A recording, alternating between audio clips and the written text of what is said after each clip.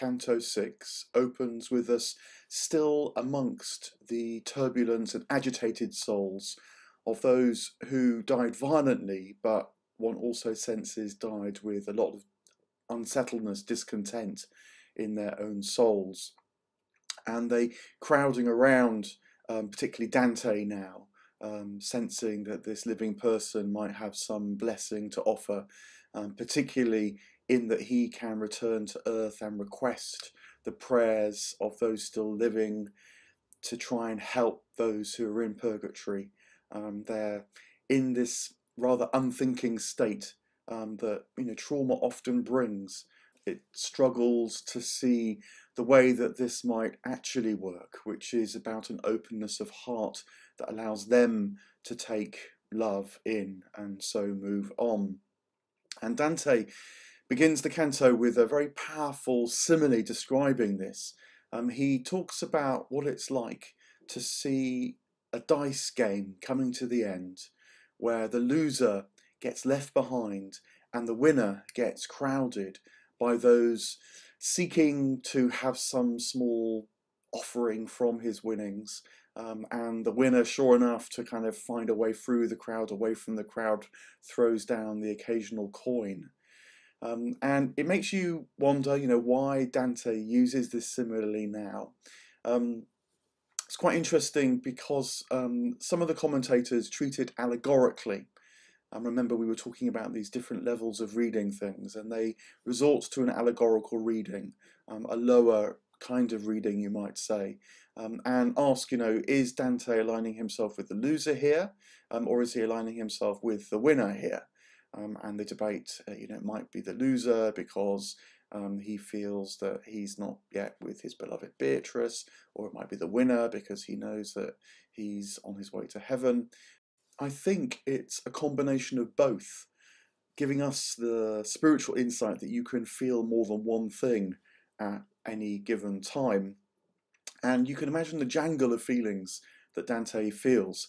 You know, on the one hand, he's been treated like a winner. He seems to be blessed by the souls around him but he feels a fraud. On the one hand, you know, he just wants to kind of keep on walking, keep on pursuing his own journey, and so sort of wants to be free of them. On another hand, I think he's beginning to sense that their requests themselves are misguided because they're too mechanical, because they're not getting the deeper insight which he himself is beginning to get. The poem remarks that they prayed only that others might pray for them, and Dante's beginning to realize that and feel actually not just realize in his mind but feel in his very person that it's openness of heart that counts you know which is why he has a greater sense of both self-possession and being able to um, empathize with them. Um, that is a state actually of integrity to offer both. But it's hard and he's still learning it and he feels quite overwhelmed at this point and also you know more subtly as well not sure what to say to them, what to teach them. Um, they are in a state where they can't feel what he is beginning to sense. Um, and that is a very difficult place to be in. It's a bit like being with a child when you can't explain why they can't have X or Y um, because they just won't understand it. Um, and you have to just say, I'm sorry, you can't have it. It's, it's a hard position to hold. Um, but Dante does honour their request nonetheless, um, uh, sort of honouring them in that, because he then does list um, a handful or two of the souls that um, rush up round him now, um, as if to remember them on earth, but also honouring their intent, their desire, because if they're asking specifically for the wrong thing, then um, their desire is actually pointing in the right direction um, it will resolve itself in time, um, which is why they're here in purgatory. But it leads to a discussion um, with Virgil, between Dante and Virgil, um, that develops these themes because Dante does, in fact, say to Virgil at this point, I think this is Dante the pilgrim really struggling with these things. He does turn to Virgil, um, Oh my light, he says, um, can the laws of the cosmos be bent by prayerful requests? And he notes that this is something Virgil had himself written about um, in the Aeneid. And Virgil turns to Dante and says, That is indeed what I once wrote, but now I understand more.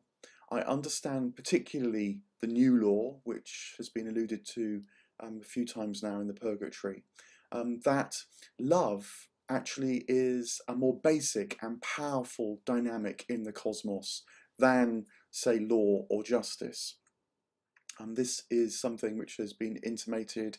Um, I think that Virgil is really getting it now, um, and so we note that this is part of Virgil's pilgrimage too, part of him moving into the new consciousness, the new dispensation, um, that sees um, the personal deity um, as the ultimate um, nature of the cosmos. This would be the Christian view, rather than, say, um, the deity of fate, which in the old Greek uh, pantheistic view, even the gods had to obey.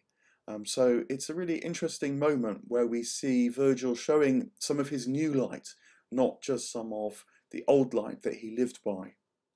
I think he shows something about how this works as well. It's not just that now a new God of love somehow rules rather than the old God of justice. Um, it is about a change um, within his own sight um, because um, he adds um, to Dante that um, the old ways didn't have access to God, um, by which I think that means that um, in a way they were praying for the wrong things. And if you pray for the wrong things, that that in part keeps you trapped um, in um, the worldview that um, is causing those prayers to arise. it's a bit like the thought we had in the last canto that the secret prayers of the heart um, can actually lead you powerfully astray unless you question the secret prayers of your heart as well. And because then the prayers themselves can open up the desire, the intent, um, uh, the will for your life can open up and move into less certain ground, less sort of possessive, grasping ground, um, which the poor agitated souls um, of this part of purgatory are still rather caught up in. Um, call all that into question and so open up, become more expansive, um, which does seem very much that that's what's happening to Virgil now as he moves on, even from what he'd written in such a splendid way um, while he was alive, and is beginning to see new things now. Um, but he also knows that um, if it's not just about a new God, not just about questioning your own desire and intent, and so opening up, he also knows that Sometimes these things can only be seen, they can't quite be told, because he then says to Dante, but look, hold on, um, what's true and what your intellect can grasp um, it's going to take time to really come together, um, but it will because we'll meet Beatrice at the top of the mountain.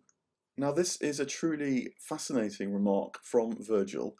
Immediately raises the question how does he know? He's not been here before um, it momentarily at least throws Dante off um, because at the name of Beatrice, um, he, of course, is instantly put in touch with the love that's the most powerful and basic force in the cosmos, and so feels instantly revived.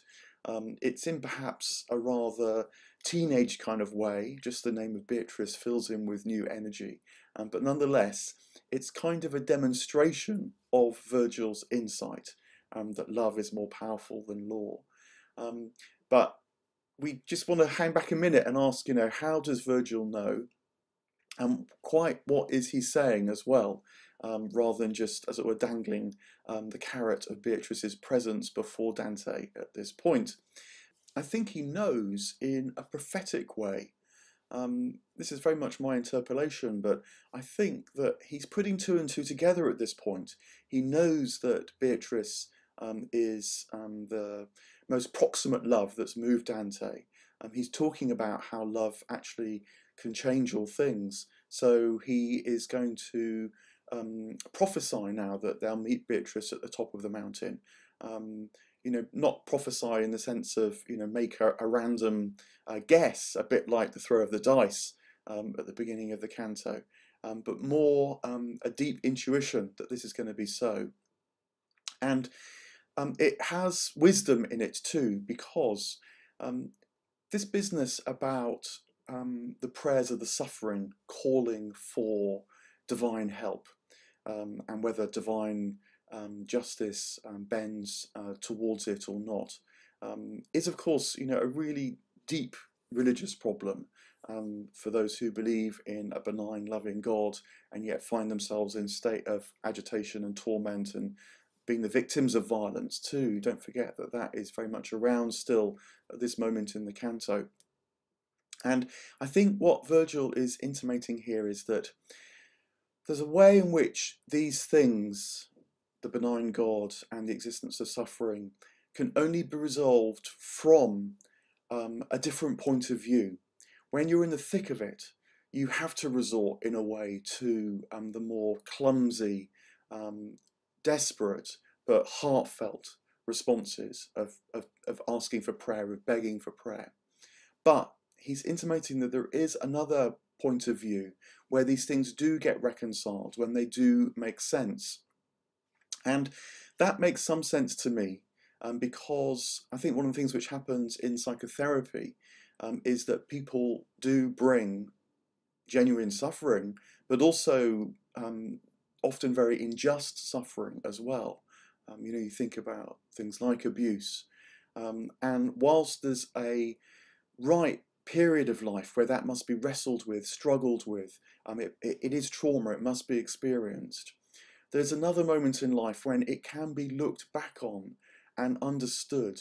It can be held, you might say, in a wider context, which ultimately is a context of love. Um, the kind of love not that glibly forgives all, but the kind of love which sees all and can live with all. And of course, that is very much what this journey has been about. Dante has seen the worst of the worst in the depths of the inferno. And I think Virgil is just beginning to sense at this point um, that all that um, is truly terrible um, in life, there is a point of view where this can actually be sat with and held and lived with and transcended. But it must come at the right moment because if it comes too early, um, it feels actually terribly unjust. It makes um, out that um, the love that runs through all the cosmos is um, a, a, careless love. It doesn't care for people. It just rides roughshod over the terrible things which actually do happen to people.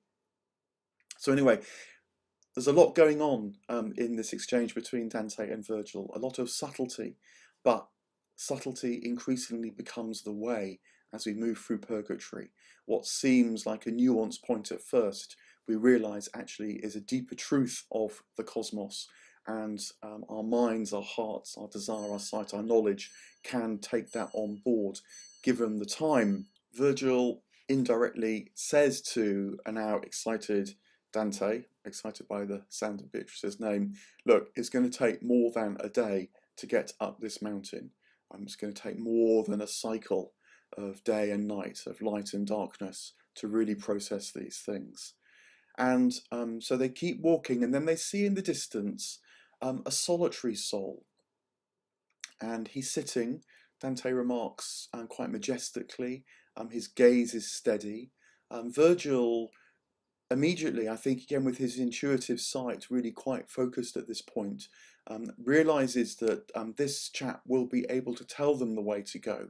He sees that um, this soul has the self possession of wisdom, of reflection, of having his own mind, and so intuits that he will know how they should step out next. So they approach him. At first, he rather ignores them.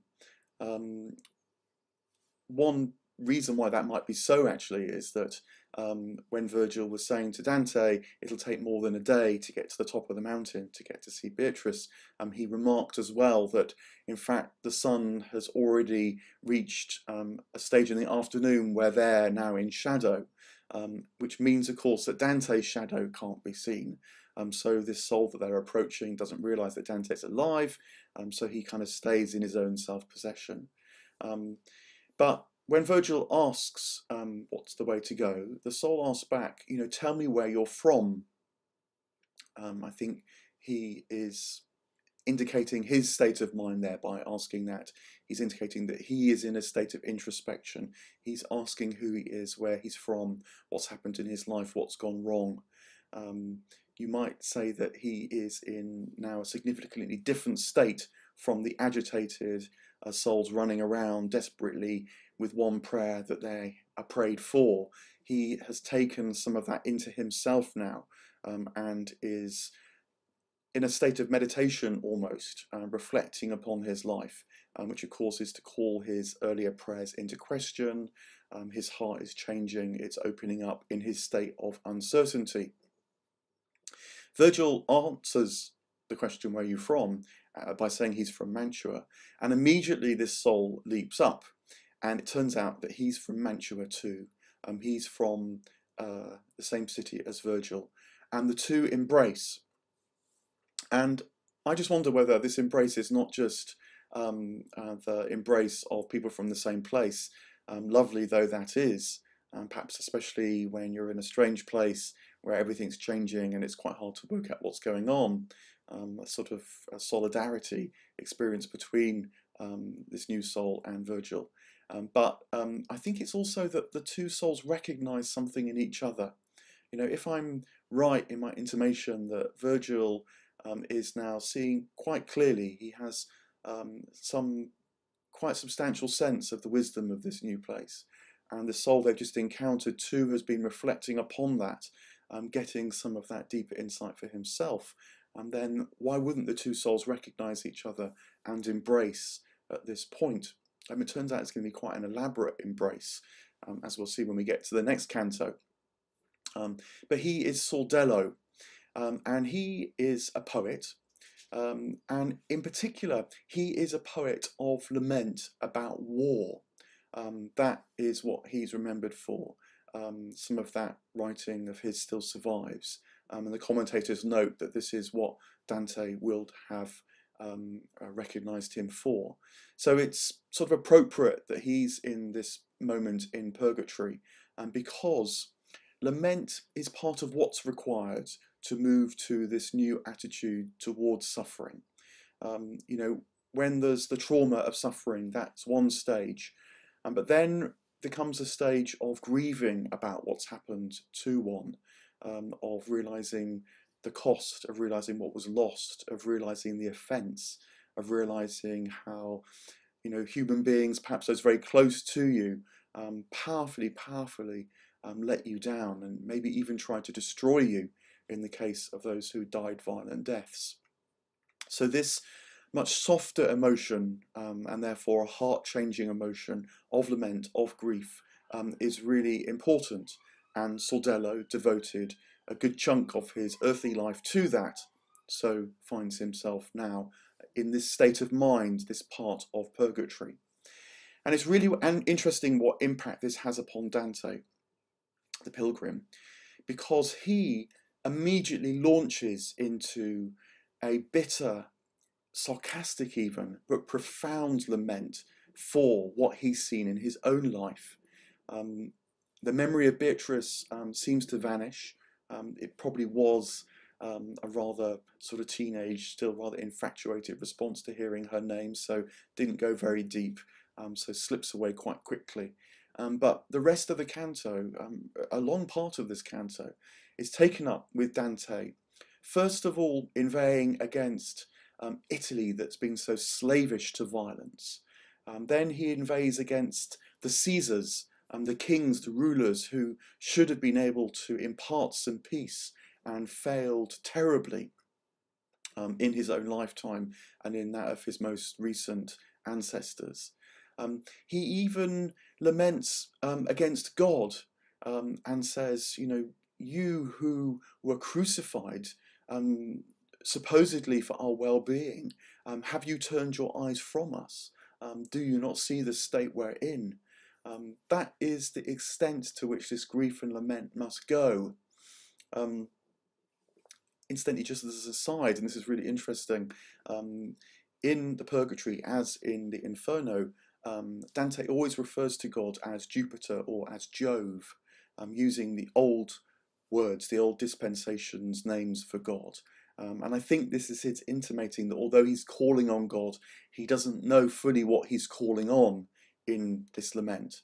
Um, he's giving, as it were, God the old name, the sort of wrong name. He doesn't see fully um, the way of God now himself, um, which of course is true because he's in the lament, he's in the grief, and he hasn't yet reached the vision of Beatrice um, that has this very different relationship to suffering. And then finally, he turns to Florence and uh, deeply bitterly, deeply sarcastically um, inveighs against his own city. Um, uh, how uh, hypocritical it is, how unable it has been to live up to um, its uh, best ideals and best goals um, and best past. Um, so, you know, Dante the poet giving Dante the pilgrim this long lamentation at the end of Canto 6 um, is really important. It's not just the poet having a chance to rehearse some of um, what's gone wrong um, in his own life and times. Um, it's a key part of the process. And I think, you know, for us as readers, reminds us that um, we mustn't rush too quickly to the end of the comedy, even though, you know, we probably know um, that the end is good, because you only get to that good end, not just if you go into the descent of Inferno, but also go through the genuine lamentation and grief of the purgatory. And you know, it can be sarcastic, it can be bitter, um, it needs to be full hearted to open the heart up. But it also needs to have a focus, it needs to have a kind of precision. And Dante now finds that as he inveighs against Italy, against um, the Caesars, against God, against Florence. Um, he's not now just like those other agitated souls who are running around desperately asking for others' help the very act of lamentation and grief is itself a kind of focusing of his own mind, a key step into um, a new state of mind, a new state of being. For all that it's full of completely unashamed passion and rage, um, everything is flowing now for Dante at this point um, in the Purgatory. And the canto ends with um, a final image of discomfort. Um, with the image of um, a soul on their bed in pain, unable to find any rest.